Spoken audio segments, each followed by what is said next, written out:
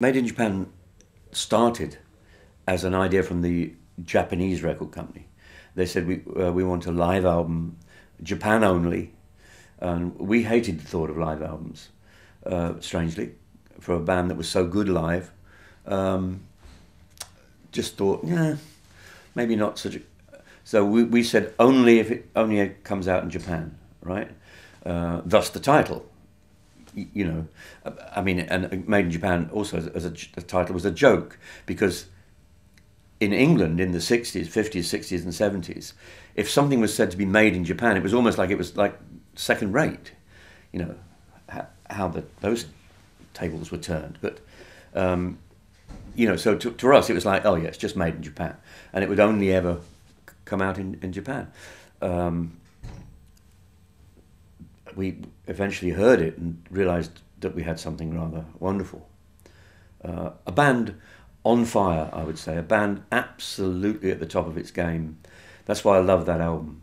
It it's a beautiful snapshot of the band uh, in in all its glory, playing live, firing off each other, listening to each other, working it out live on stage on the night playing to a, a, at the top of his game.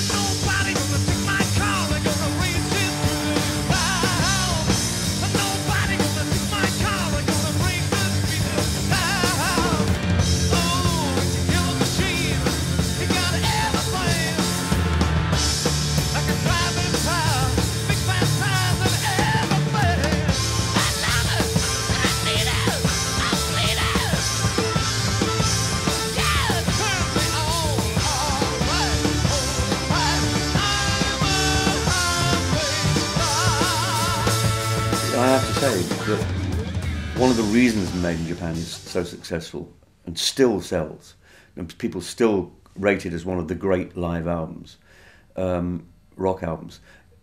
One of the reasons for that is is the, the brilliance of, of our producer, of Martin Birch. Absolutely, under incredibly difficult conditions, to produce that.